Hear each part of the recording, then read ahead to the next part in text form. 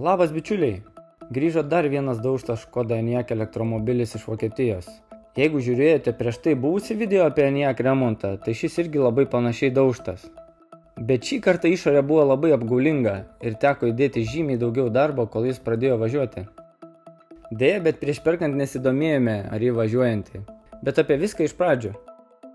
Pirma blogybė, kurią pamatėme nustumę automobilį nuo traliuko, buvo ta, kad nupjautas oro pagalvės. Ne visos, bet dauguma. O tai reiškia tik vieną, kad bus didesnė remonto kaina, nes nupjautų jau nebegalima restauruoti ir teks pirkti kitas, arba naujas, arba naudotas. Antra problema buvo ta, kad neveikia pulteliai. Gali spaudinėti kiek nori, automobilis nei užsirakina, nei atsirakina. Įjungti ir važiuoti taip pat nebuvo galima, skidelis visada buvo juodas. Pagalvojame, gal pultelio baterija jau mirusi, bet dėl jos automobilis tai turėtų rodyti kažkokią gyvybę. Tada atsidarėme kapotą ir pradėjome ieškoti, gal kažkas kažkur yra atjungta. Prie to pačio reikia pažiūrėti, ar gyvas 12 V akumuliatorius.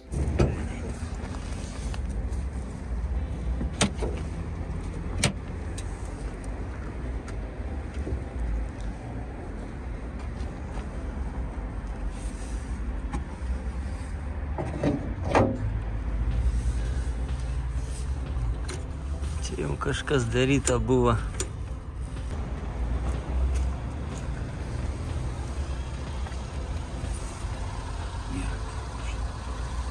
Nėra gyvybės, ne? Čia dabar nėra, palauk, pažiūrim taip. Nėra gyvybės, nulis akumuliatorius. Nulis.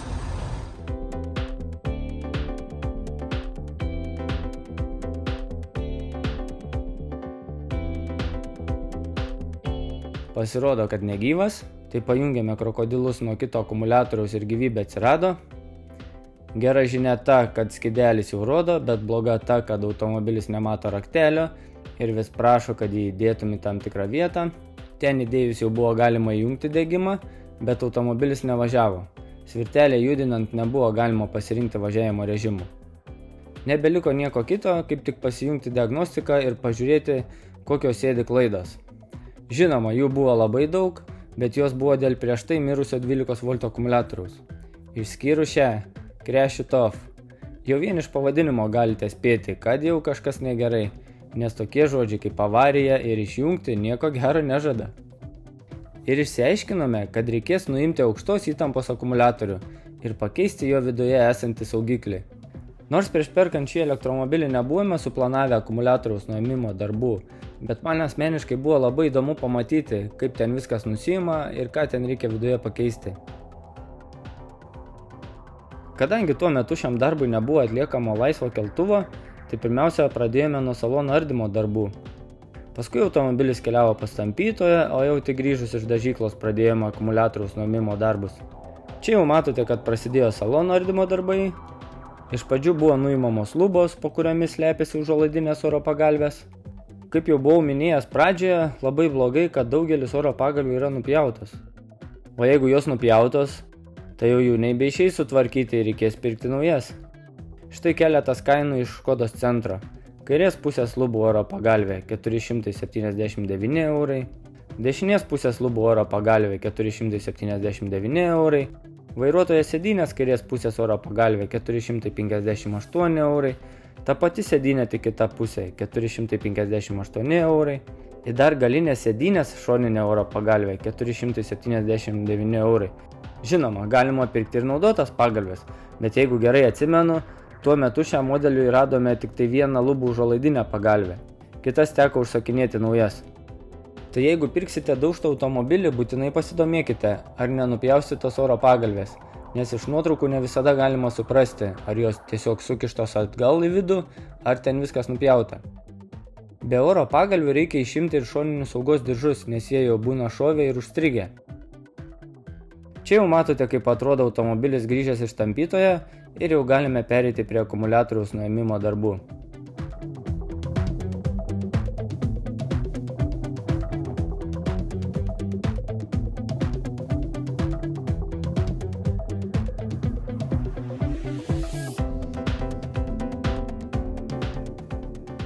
Pirmas darbas, kurį reikia padaryti pakėlus automobilį, tai nusiimti visas apsaugas aplink akumuliatorių.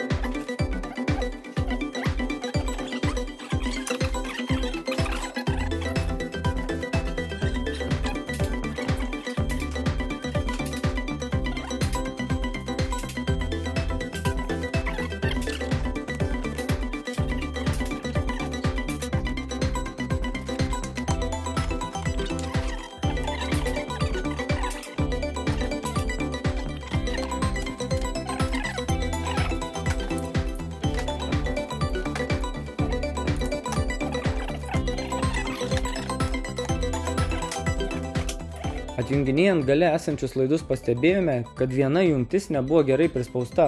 Gal tas pardavėjas bandė taip sužaisti su draudimu, sunku pasakyti.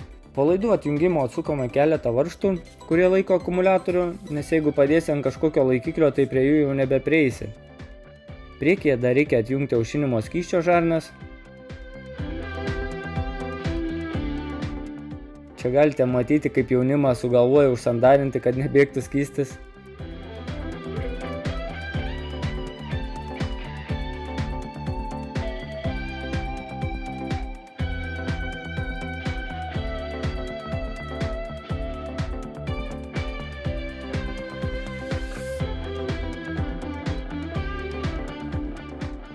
Pirmiausia, automobilį nuleidome ant paletės, nes tuo metu neturėjome geresnės įrangos. Nuleidus automobilį, beliko atsukti akumuliatorių laikančius varštus ir mašiną pakelti.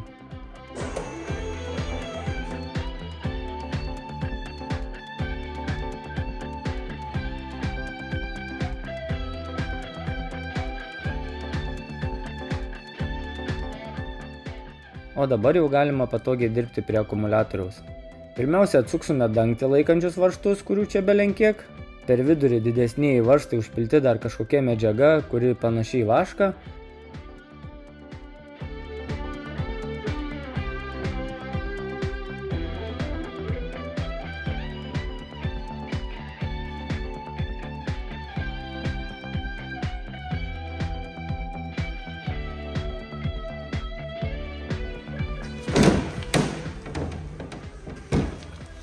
Siūlau atsargiai elgtis su šiuo dangčiu, nes jeigu gerai prisimenu, tai nėra jau taip sunku jį sulankstyti, o naujas kainuos apie 500 eurų.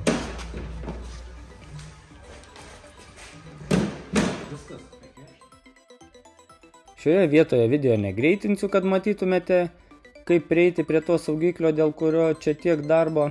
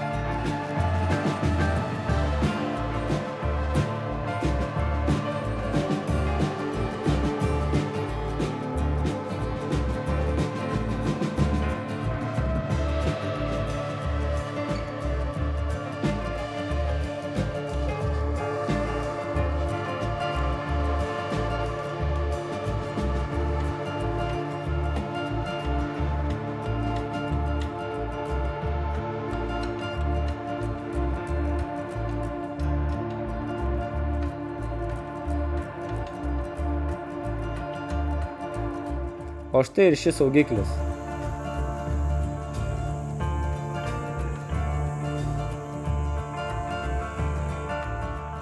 Ką matuojam dabar? Varžą matuojam. Negyvas, negyvas. Teisybė. Tai nėra žais. O tai turiu va taip parodyti. O taip nerodė. Va. Va. Nėra. Miręs. O matai, rodo trumpą. Sučestis. Nerodo trumpą. Bet viskas negali eitis kaip iš pypkės. Pasirodo, kad saugiklio tvirtinimo skylės yra platesnės. Ką dabar daryti? Platinti skylės patiems? Ne, tokiais dalykais tai neužsimsime. Man dar buvo kilusi kvaila mintis, gal išeitų iš naujo saugiklio vidurius perdėti į senąjį. Bet tas planas neišdegė. Pasidomėjau ir sužinojau, kad šie saugikliai gali būti dviejų pločių. Tai užsisakėme kitą. Čia būna netgi suknėdyta, suprantate, priknėdyta yra, tai mes negalim apkeisti. Nes jin būna kaip ant kontaktinė ir kažkokiu metu jis atplėšė. Čia jau tikriname naująjį. Ledas.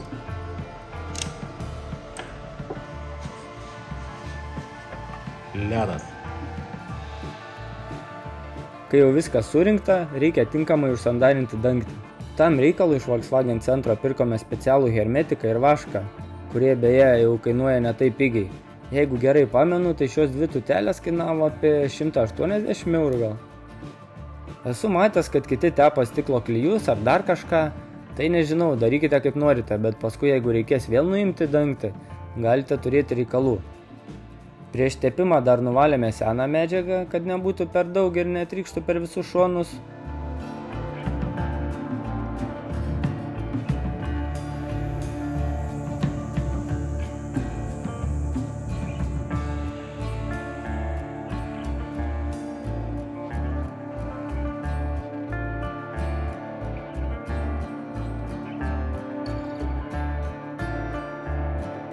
Na ir beliko viską surinkti.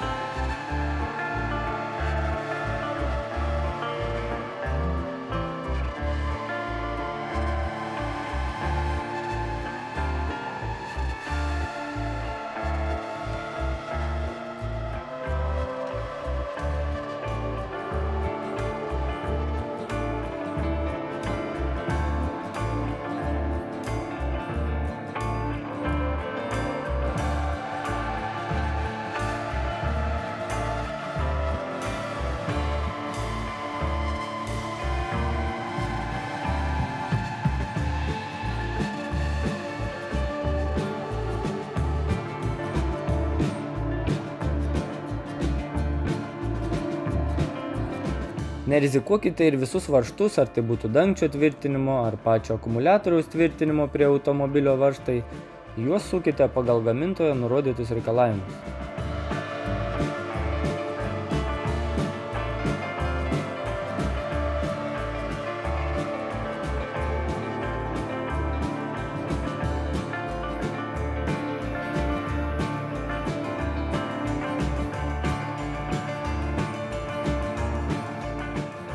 Kai jau akumuliatorius paruoštas, tada galime nuleisti automobilį.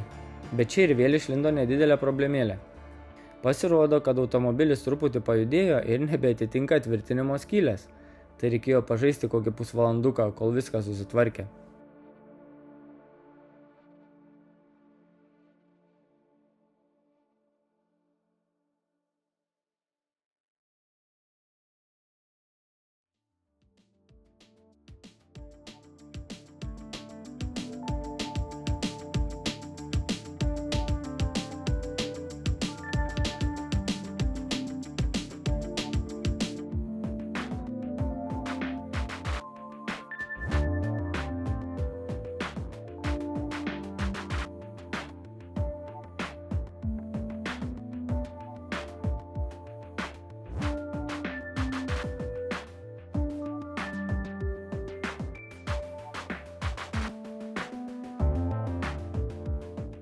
Kai tik viskas buvo pajungta, nieko nelaukėme ir pabandėme. ar įsijungs važiavimo režimai. Bet vėl niekas neveikia ir toliau rodė tą pačią klaidą. O su turima diagnostinė įranga, taip vadinama krešą, nenuimsime. Tada reikia išimti airbag modulį, kuriame sėdi ta klaida ir vežti pas specialistus, kurie gali ją ištrinti. Čia matote, kurioje vietoje būna tas modelis. Kad prie jo prieiti, reikia išardyti centrinę konsolę. Ar žinote tą posakį, kad trečias kartas nemeluoja, o ketvirtas garantuoja? Tai panašiai ir mums. Įdėjus modulį, kuriame jau ištrinta klaida, vis tiek rodė oro pagalvės klaidą. Paaiškėjo, kad keleivio pusės diržo mechanizmo moduliukas pažeistas. Naudotos dalies nebuvo pirkti, tai užsakėme naują. Jį įdėjus automobilis pagaliau pradėjo važiuoti, bet nematė raktelių, neveikė centrinis užraktas ir neveikė elektrinis galinis dangtis. Pagalvojame, gal senasis 12 V akumuliatorius toks blogas, kad neveikia, tai pakeitėme nauju. Bet vis tiek niekas nepasikeitė. Tada automobilis keliavo pas kitus specialistus šiauliuose, kurie nustatė, kad čia kaltas arba gateway modulis, arba centrinio valdymo blokas. Kadangi nauji kainuoja daug, tai suradome naudotus. Pakeitus pirmąjį situacija nelabai pagerėjo, o štai po centrinio valdymo bloko keitimo jau viskas pasisuko į gerąją pusę. Bet dar buvo viena maža problemėlė. Naudotas blokas turi būti su tokiu pat kodu kaip ir mūsų automobilio. Identiško surasti nepavyko, skiriasi viena raidelė gale. Nors po jo pririšimo ir susitvarkė centrinis užraktas, raktelio matymas ir galinio dangčio atidarimas, bet atsirado nauja klaida, kuri atėjo su tuo moduliu, kažkokia lango dūžio klaida, kuri neleidžia tinkamai veikti beraktai sistemai. Ji greičiausiai susitvarkytų, jeigu būtume įdėję tokį pat modulį, Na, gal rasime ateityje jį nusipirkti. Tai šį kartą tiek ir iki pasimatymo.